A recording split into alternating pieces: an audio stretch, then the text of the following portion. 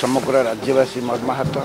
ସେ ଜଣେ ଶ୍ରୀଜଗନ୍ନାଥଙ୍କର ଭଞ୍ଜ ସାହିତ୍ୟର ଗବେଷକ ଥିଲେ। ଶ୍ରୀ ନୀଳାଚଳ ନିଖିଳ ଉତ୍କଳ ପାଲା ଗାୟକ ପରିଷଦର ସ୍ଥାୟୀ ସଭାପତି।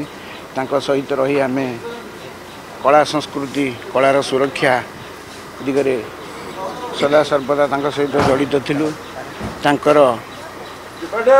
ଅମର ଆତ୍ମାର ସଦ୍ଗତି ହେଉ ଏବଂ ତାଙ୍କ ବିୟୋଗରେ ଆଜି ଯେଉଁ ଅପୂର୍ଣ୍ଣ କ୍ଷୟକ୍ଷତି ଘଟି କ୍ଷତି ଘଟିଛି କଦାପି ଏହା ପୂରଣ ହୋଇପାରିବ ନାହିଁ। ପ୍ରଭୁ ଜଗନ୍ନାଥଙ୍କ ନିକଟରେ ଅମର ଆତ୍ମାର ସଦ୍ଗତି କାମନା କରୁଛୁ।